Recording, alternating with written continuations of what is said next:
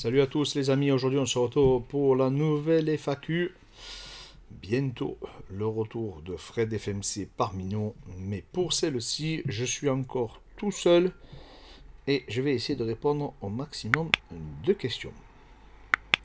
Les amis, tout d'abord, n'hésitez pas à vous abonner, n'hésitez pas à nous mettre en commentaire les futures questions pour les FAQ de la semaine prochaine. Il y aura le retour du grand Fred FMC. Et on se fera un plaisir d'y répondre. La première question, c'est Robert Web Marketing qui nous demande euh, Tu pensais pouvoir aider des sportifs blessés à se remettre de leurs blessures? Donc il veut dire Tu penses pouvoir aider des sportifs blessés à se remettre de blessures. Alors oui, hein, parce que vous savez qu'on fait beaucoup de travail prophylactique. On fait beaucoup, beaucoup, beaucoup d'entraînement d'assistance, hein, donc d'hypertrophie, d'hypertrophie transférable, et du coup de réhabilitation, de réathlétisation. Donc euh, oui, oui, il y a beaucoup de gens qui nous sollicitent après avoir été blessés ou avoir eu une période très difficile euh, en termes d'entraînement, qui, et qui derrière nous rejoignent, euh, en tout cas sur le coaching à distance. Voilà. Donc ça, c'est aussi ma formation de posturologue qui me qui m'a donné un peu cette, cette, on va dire, cette idéologie de l'entraînement. Euh, en tout cas, c'est venu la nourrir pour venir prévenir les blessures ou essayer d'y pallier ou essayer en tout cas ben, euh, de, vous faire récupérer le, plus rapidement possible. Donc oui, avec grand plaisir, n'hésitez pas à me contacter sur Instagram si vous avez euh, cette, des problématiques. Au moins du moins, en discuter avec moi. C'est Sliman77 qui nous dit Salut Clément, que penses-tu de Mokaef Il a encore gagné à l'UFC Londres ce week-end. Alors je dois te dire qu'il m'a vraiment impressionné. On en parlait avec Fred ce matin. Euh, je l'ai trouvé très impressionnant, très appliqué, un cardio incroyable, vraiment grosse lutte, très bon boxeur. Non, non, c'est un redoutable adversaire, euh. Euh, vraiment euh, redoutable combattant. Avec, alors, il est dans une catégorie qui, il faut dire ce qui est, est dans la catégorie pour moi la plus relevée. Euh, vraiment dans, cette catégorie-là, euh, euh, que ce soit les 57 ou les 61, le niveau technique est démoniaque.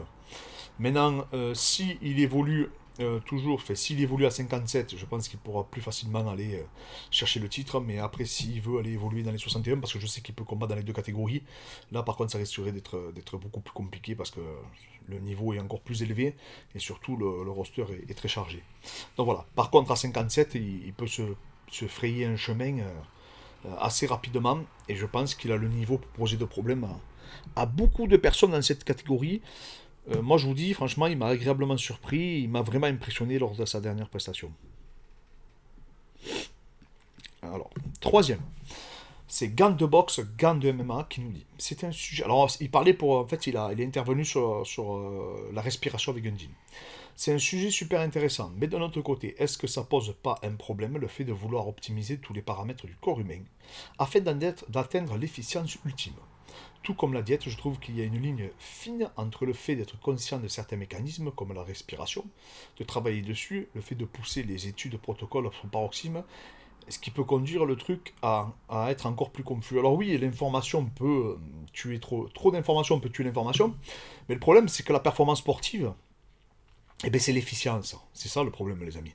C'est que pour un sportif lambda, j'y vois pas d'inconvénient, moi, à, à plus ou moins s'en foutre de tout ça.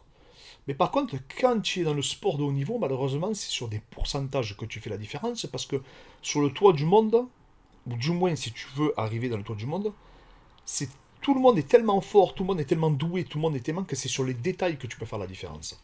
Et l'objectif, c'est oui, d'atteindre l'efficience ultime. Je parle bien pour le sportif de haut niveau. Donc lui, ce qu'il peut faire, c'est essayer de quantifier, analyser, mesurer, et du coup essayer d'optimiser tout ce qui est en son pouvoir est-ce qu'il va pouvoir encadrer Alors oui, c'est difficile, oui, ça c'est des prises de tête, mais c'est surtout la question, c'est pourquoi on ne le ferait pas? Pendant des années, euh, moi je suis issu de la boxe, beaucoup de gens disaient oui, ça sert à rien la prépa physique pour les boxeurs, etc. Et on a vu une différence significative après, entre les boxeurs qui faisaient la prépa physique et les boxeurs qui ne faisaient pas. Mais en fait, pourquoi? Mais parce que c'est tout, c'était archaïque, on avait une vision euh, très fermée en fait sur le sujet. Et, petit à petit, après, il y a des boxeurs qui ont commencé à, s'alimenter bien. Euh, pendant toute l'année, etc. Donc c'est l'évolution du sport qui fait ça. C'est-à-dire que tu peux pas rester amateur euh, et approximatif euh, si tu veux durer, et surtout quand le sport se modernise. Ça devient de plus en plus compliqué. Donc voilà, c'est pour ça que quand on me dit des fois, oui, mais moi, mes Mayweather, il court tous les jours, ou l'autre, il court tous les jours. Oui, mais eux, c'est la transition entre le professionnalisme et, en fait l'amateurisme et le professionnalisme. C'est-à-dire que les meilleurs préparateurs physiques, c'était pas en boxe. Les meilleurs préparateurs physiques, c'était dans des disciplines comme l'athlétisme, euh, comme en altéro, etc. C'est pas, c'était pas culturel ou en football US. Là, il y avait des super préparateurs. Mais en boxe anglaise, il y avait des très mauvais préparateurs physiques. C'était vraiment pas terrible ce qu'on pouvait voir. Donc les mecs, ils faisaient courir les mecs comme des débiles. Enfin, il n'y avait pas de notion de transfert, rien du tout. Et aujourd'hui, euh, s'il y a bien un truc que j'ai compris, c'est que s'il faut surtout pas s'inspirer de. C'est pas parce qu'un champion le fait qu'il faut le faire. Parce que si je, vous dis les énormités que je peux voir et que je peux lire, et je vous le dis, moi je prépare des footballeurs professionnels, mais je peux même pas vous dire ce qu'on leur fait faire. Vous, vous le croirez même pas. Donc c'est voilà. C'est pour ça d'ailleurs qu'ils sollicitent un, entraîneur extérieur. C'est quand même incroyable avec les staffs qu'ils ont, les rugbyman et tout, qui nous sollicitent à nous. Je ne sais pas si vous vous rendez compte. Mais pourquoi? Mais parce qu'automatiquement, ben, malheureusement, les mecs, ils ont, il y a un mec pour 25 personnes. Hein. Enfin voilà, c'est tout. C'est comme ça. C'est malheureux, mais c'est malheureux. Et, puis après, il faut payer les gens, hein, les gens compétents. Euh, tu peux pas leur donner 1500 euh, euros par mois. Hein. Les gens qui se tiennent. Euh, voilà, un mec comme Gunjil, si vous pensez qu'il va devenir préparateur du, du, Paris Saint-Germain en lui donnant 2000 euros par mois, vous vous trompez quoi. Vous vous trompez parce que le mec il passe ses journées à étudier, à tester, à approuver. Et de toute façon, vous voyez bien, hein, les outils qu'on a dans notre structure, par exemple, mais il y a 98% des gens euh, qui ne savaient, qui connaissaient pas la, totalité de nos outils. Les gens ne connaissaient même pas, ils ne savaient même pas que ça existait. Donc c'est pour vous donner un, petit résumé en fait de ce qui se passe. Et, même au niveau mondial, hein, quand je suis aux États-Unis, je peux même pas vous dire. Je suis très très gentil dans les vidéos. Je peux pas dire ce que j'ai vu. Mais si vous serez, c'est incroyable. Et d'ailleurs, on le voit avec Joe Jones, quand on voit quand même qu'il s'est fait attraper pour une molécule, je ne dirai pas le nom parce qu'il y en a qui vont l'apprendre, c'est la molécule, tu dis ça à un bodybuilder, mais il est mort de rire.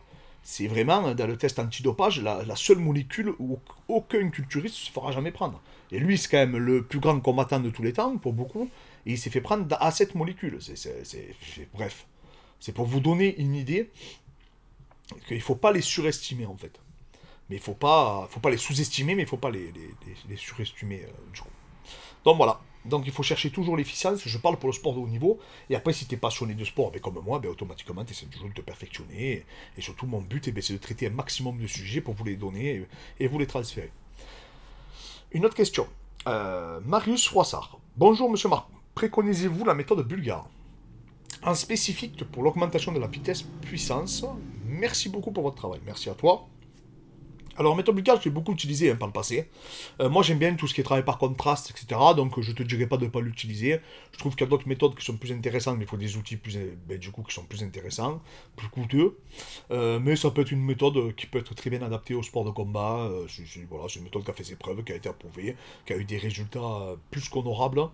Donc, oui, je t'encourage à ah, tu peux la pratiquer. Après, voilà, il faut toujours être bien encadré, choisir les bons mouvements, surtout, c'est ça le plus important pour moi.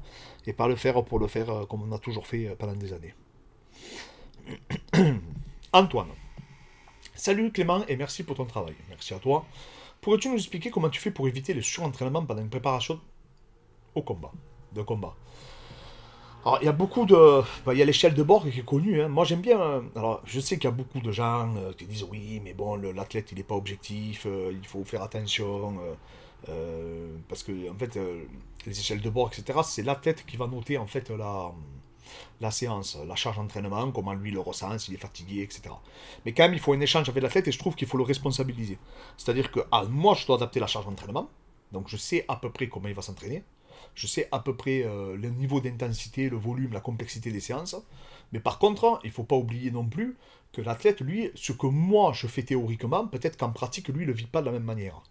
Et ça, c'est extrêmement important à prendre en considération, parce que c'est pas parce que toi, ça te paraît simple que ça peut l'être forcément pour ton athlète.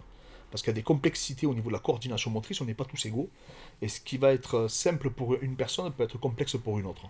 Donc euh, voilà, donc c'est pour ça que moi j'aime toujours avoir l'avis quand même de mon athlète. J'ai euh, mes outils de mesure que j'utilise, que c'est des outils maison, c'est ce que je vous encourage à faire. Je fais comme des calculs entre la complexité, le volume, l'intensité, etc. Et après derrière, eh ben, j'essaie d'écouter euh, ce que va me dire mon athlète, comment lui le ressent. Et des fois, ben, j'ai des surprises. Hein. Des fois, je vois que je fais fausse route hein, et je m'aperçois ben, malheureusement que la charge d'entraînement était un peu trop élevée. Après, pour arriver en surentraînement, c'est quand même assez difficile. Hein. on est plus en surménage qu'en surentraînement. C'est détail. je souhaite monter à 83 kg. Je suis végétarien. La créatine pour m'aider, oui ou non Alors oui, la créatine, c'est un produit qui est très intéressant, surtout pour les gens qui ne consomment pas de viande. Hein. Euh, moi, je vous le recommande fortement. Alors, il y a des problèmes de récepteurs. Hein. Je vous encourage à aller voir la, vidéo qu'on a fait avec Michael Gungil sur le sujet, où on a abordé du coup la créatine. Euh, et en fait, vous vous apercevrez aussi pourquoi il y a des personnes qui ne réagissent pas. On aborde ce sujet-là. Euh, l'histoire un peu, l'historique de la créatine. Hein. Euh, comment ce complément a été popularisé, pourquoi on a cru qu'il avait été interdit, enfin voilà tout ce qui, tout le, tout, tout, tout, on va dire les anecdotes euh, et un peu les péripéties euh, qu'il y a pu avoir autour de ce complément alimentaire. Moi je réagis bien à la créatine, les gens en général qui sont, que je suis également, donc moi j'encourage les gens à, en prendre. je trouve que c'est un complément très intéressant, surtout si tu ne consommes pas de viande. The Easy Whitewood qui nous demande J'ai une question, combien de fois des sprints par semaine si ton cardio a toujours été ta faiblesse? Alors, euh, déjà, pourquoi faire des sprints pour pallier au cardio? Je comprends pas. Euh, maintenant, si tu fais, euh, je sais pas, de l'athlétisme, du foot, etc. alors, le sprint, ça peut être intéressant parce qu'il y a des gens qui ont beaucoup de difficultés dans le spécifique à monter en intensité. C'est-à-dire à se rapprocher de leur FCM.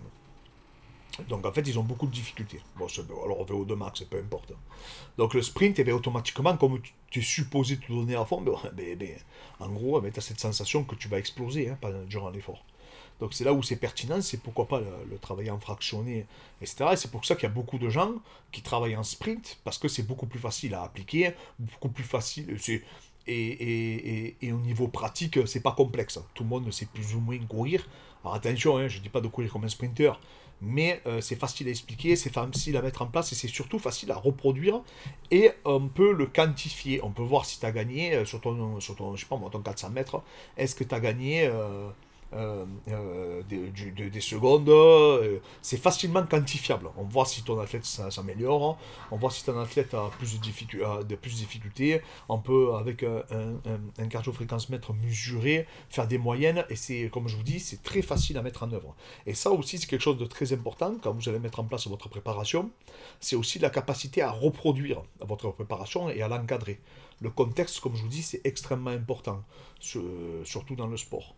Euh, et encore plus dans le sport de haut niveau. Pourquoi? Parce que le but c'est que ça soit ludique, reproductible et en même temps euh, que vous prenez du plaisir à travers vos séances. Alors je ne dis pas que vous allez tous prendre du plaisir à travers vos séances, hein, euh, parce que vous allez courir sur piste. Mais voilà, ça peut être une alternative. Moi, comme je vous ai dit, si dans ma discipline j'ai pas besoin de courir, ben, je cours pas. Voilà, ça c'est ma philosophie. Mais maintenant, si vous faites du crossfit, du rugby, ou du foot, même si au rugby maintenant il y a des prépas qui font de moins en moins courir. Mais euh, ouais, ça peut être pertinent d'incorporer euh, ce type de fractionné avec des changements de direction, etc. Benoît Biro, j'ai beau essayer de comprendre l'expression forme de corps, je la comprends pas bien. Tu pourrais expliquer. Super vidéo, perso, gros avantage à la spinal et énorme défi pour Gann. Voilà, il parlait pour euh, le combat de Curtis Blade. Alors, euh, les formes de corps, en fait, euh, ça se retrouve plus ou moins dans tous les sports. Hein. Moi, je pensais que c'était vraiment dans les sports de préhension, mais apparemment, ça se... pas apparemment, ça se retrouve dans tous les sports. En fait, c'est l'efficience. C'est-à-dire, euh, c'est les automatismes. c'est vraiment cette aisance que vous allez retrouver chez le sprinter, chez le coureur, chez le nageur. Hein. vous allez voir le sentiment qui flotte. Vous allez voir le sentiment que vraiment il est dans ce flot, en fait, où il y a très peu d'efforts. Et eh bien c'est ça les formes de corps. C'est-à-dire que les formes de corps au sol, en boxe, en lutte, mais surtout dans les sports de préhension, parce que je trouve que c'est plus parlant, c'est le plus long à, en fait, à avoir euh, et du coup à, assimiler, parce que c'est qu'à travers la pratique et l'opposition en général qu'on va les acquérir à travers les drills. Et euh, il y a des disciplines qui sont très chronophages sur les formes de corps. Par exemple le, grappling, par exemple le crossfit aussi, hein, qui demande beaucoup d'aisance de, technique sur les mouvements. Et donc pour développer toutes ces formes de corps, il faut pratiquer, pratiquer, pratiquer, pratiquer. Euh, la dernière fois j'avais un élève qui me demandait, oui, mais sur le sac, comment je fais? Euh, J'ai un problème de distance, il avait des petits problèmes à driller sur le sac. Malheureusement, il n'y a que la pratique. On peut pas. J'ai pour beau vous dire, oui, il faut que tu colles un peu plus, oui, lève plus tes mains, lui, fais plus ça, plus ci. Euh, c'est la pratique. C'est la pratique, la pratique, se filmer, corriger, se filmer, corriger. Mais vraiment, euh, il faut arriver à se relâcher dans l'effort. C'est ça les formes de corps. C'est-à-dire que c'est tous ces muscles stabilisateurs, tous ces, euh, toutes, voilà, tous ces, ces réflexes proprioceptifs qui sont inconscients hein, pour la plupart, qui vont vous permettre en fait de répondre à des problématiques et à des contraintes qu'on va vous poser. Hein. Et eh bien tout ça, vous allez devoir y répondre. Et du coup, le fait de devoir y répondre, vous allez devoir, euh, vous, allez de, vous allez trouver des automatismes. Votre corps va créer des adaptations positives en fait à votre discipline. C'est ça. Voilà. C'est pour ça que quand tu vois un mec, pour moi, qui définit vraiment les formes de corps, c'est Abdul. C'est-à-dire qu'Abdul, dans les airs, il arrive à se rattraper et à vous amener au sol alors que c'est vous que vous l'avez projeté. Voilà, mais ça c'est un exemple de forme de corps. C'est des trucs qui, qui, paraissent impossibles pour le commun des mortels et pour les gens euh, lambda qui pratiquent. Et eux, pour eux, en fait, c'est pas impossible. Ben au contraire, euh, ils ont des facilités. En fait, euh, voilà, et tu vois, il est vachement fluide et tout, donc c'est parlant. Les gens qui sont fluides, on dit, ils ont des belles formes de corps, tu vois. La façon dont ils bougent, dont ils recomposent la garde, dont ils luttent. Tu vois, par exemple, les premiers drills en lutte, tu vas voir si le mec il a fait de la lutte ou pas. Est-ce qu'il a fait de la lutte à partir de l'âge de 20 ans? Parce que souvent aussi, on, dit que les formes de corps, c'est pas, c'est une vérité, mais crise beaucoup plus rapidement quand on est, quand on est enfant. Voilà. Donc voilà, les amis, euh, on en a fini pour cette FAQ.